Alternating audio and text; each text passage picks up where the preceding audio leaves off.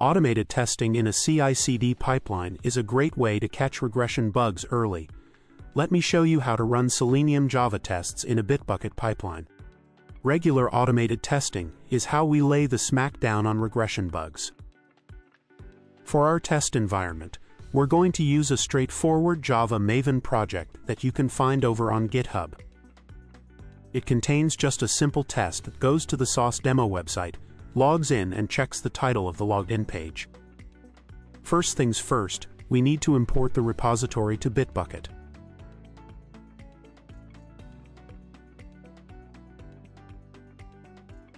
I'm going to show you the ropes with Maven, but don't worry, we'll also touch on how you'd get this done with Gradle, Python, and even NPM.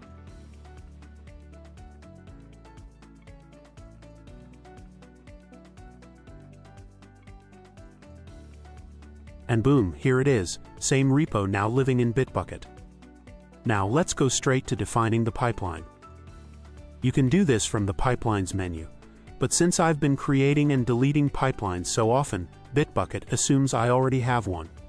No problem, I can do the same from the Deployments menu. A good way to start is by choosing a template. I'll go with the Maven template.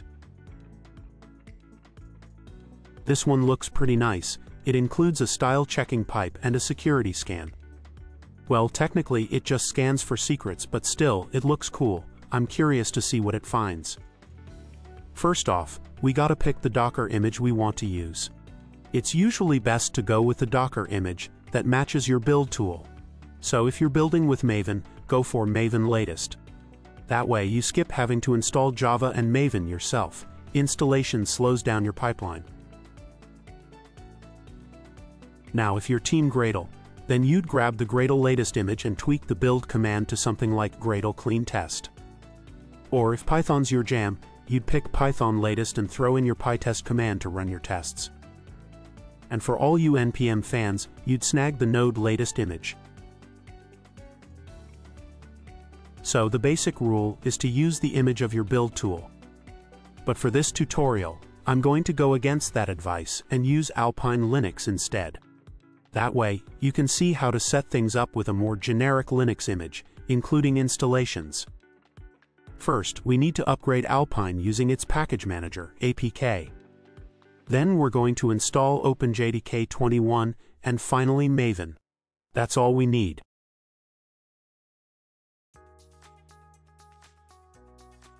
Since we're in the Deployments menu, Bitbucket asks us to add a deployment step. No problem, let's do that.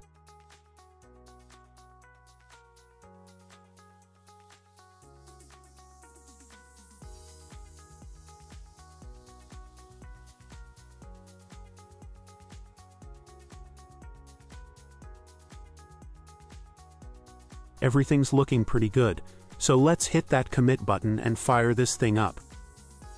Now, I know this run is going to fail, but I want to show you what happens so you understand all the necessary steps when migrating tests to the cloud. Okay, deploy to test is chugging along in parallel with build and test. Looks like my step indentation might be a bit off. Most dev teams prefer to deploy after the tests, not at the same time. And there we have it, the reason for the fail, driver executable does not exist. This test setup is using a local Chrome driver, which is not ideal for a CI-CD pipeline. You'd have to push the driver to your repository and update it manually, and if you're running cross-browser tests, you'd have to update multiple drivers, which is a hassle. So, when we get to the test script writing, I'll show you a better way. Let's peek at what the security scan dug up. No secrets found, you are good at keeping secrets. Thanks, I do appreciate a little compliment now and then. Alright, time to fix this. Next up, I'll clone the repo to my local machine so I can make a few changes and verify they work before pushing them to the cloud. Debugging is always easier locally.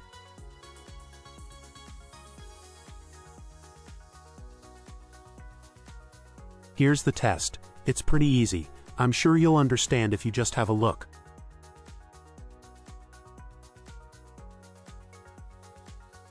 First, we need to do some imports. we will import Remote Web Driver and Chrome Options classes. Remote Driver will use a browser in a Docker container, so the pipeline will update the browser before every run, and we don't have to do a thing and still the browser is always up to date. While we're at it, let's add Firefox options and Edge options too, so we can easily run cross-browser tests later. I'll comment out the lines that are setting up the local driver.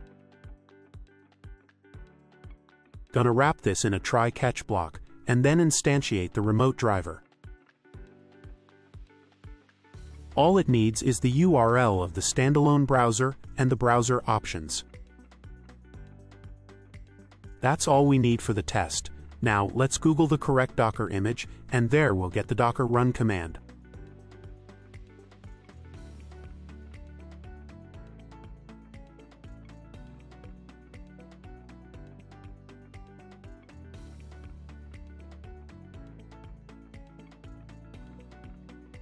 and we hit an error.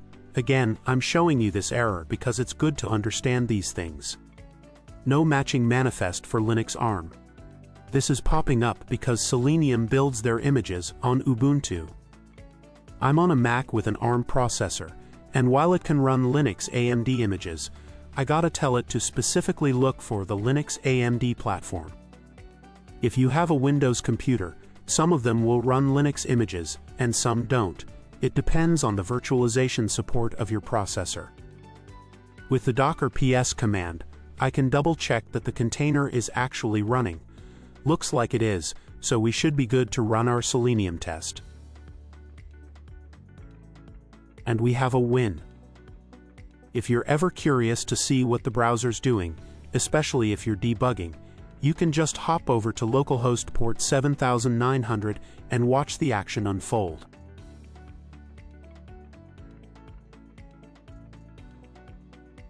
The password for the VNC connection is secret.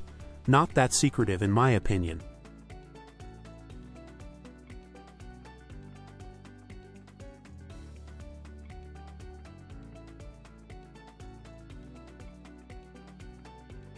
And there's the browser running through our test steps.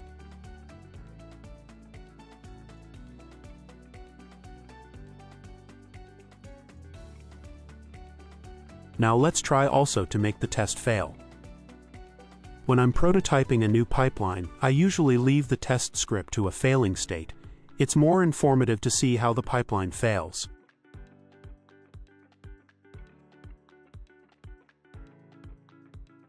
And there's the error, wrong labs. We've successfully got our test running with a remote driver locally. Now we're all set to move this test up to the cloud we need to make a few adjustments to our pipeline.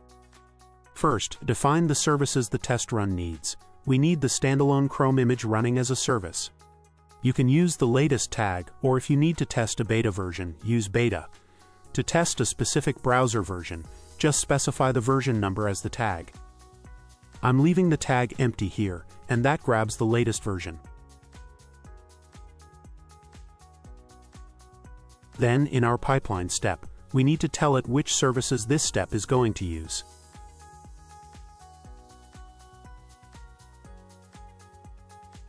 And that's all the changes we need to make to our pipeline. So let's commit and push this to the remote repository.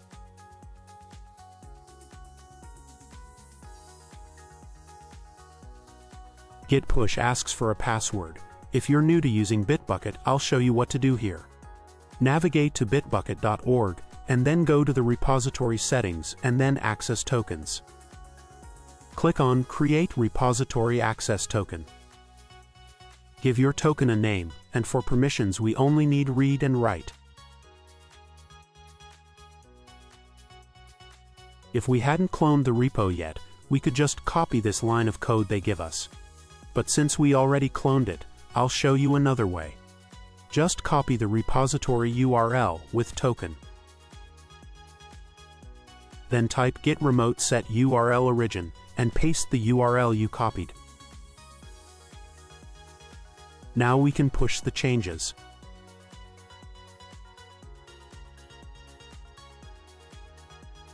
After the push, the pipeline kicked off automatically. And once again, deployment started right away again, not after the tests. Seriously, I think I'm having a senior moment here.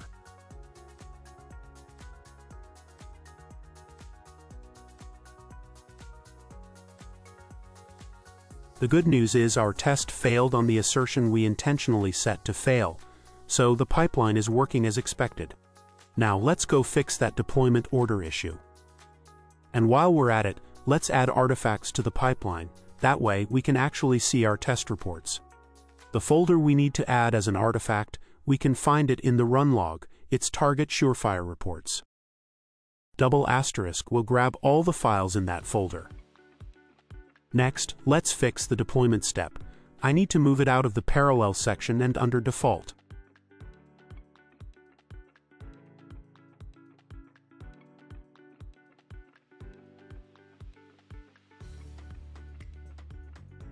That's done. Now let's add cross-browser support. I'm gonna use an environment variable for this. Before running the test, I'll set a test browser variable to tell the test which browser options it should use. Then, I'll use a switch case in the code to set the correct browser options based on that variable.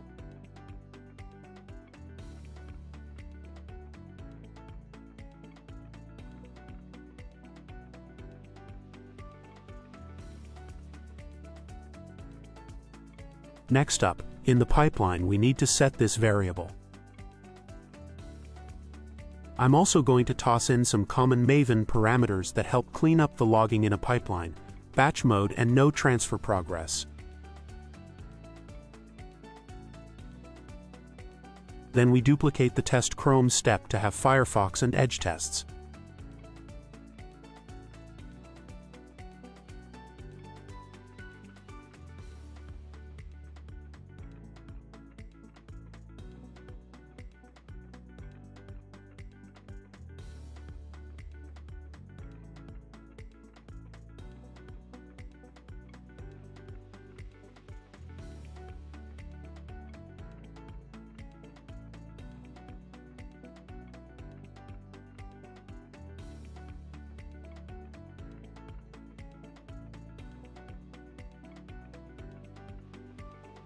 In the service definitions, I have to add my Firefox and my Edge services too. If my typing is too fast, feel free to pause the video and take a closer look.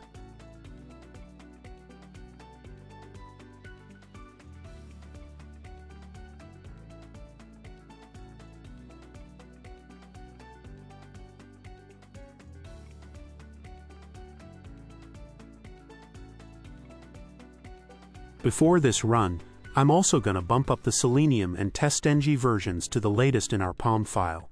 Always good to keep those versions current.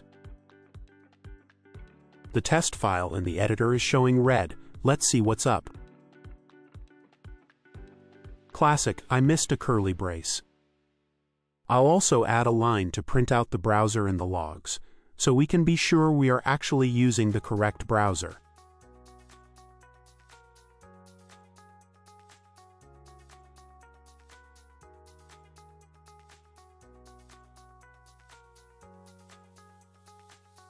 Everything looks good. We're ready to push the code to the cloud, and we can admire how beautifully it runs.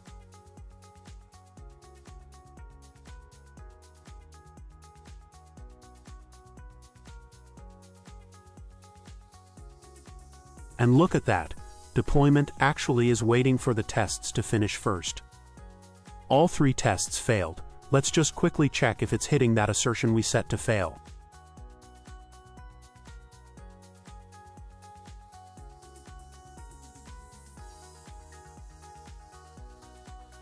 All three worked fine. Let's double check what browser it printed out in the logs.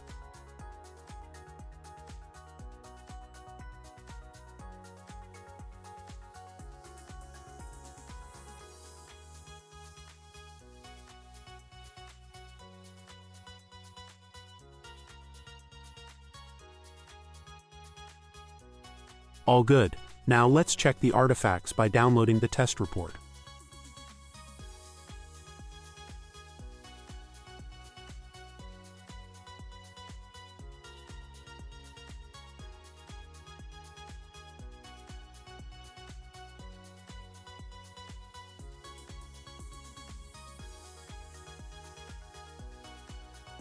That wraps this tutorial.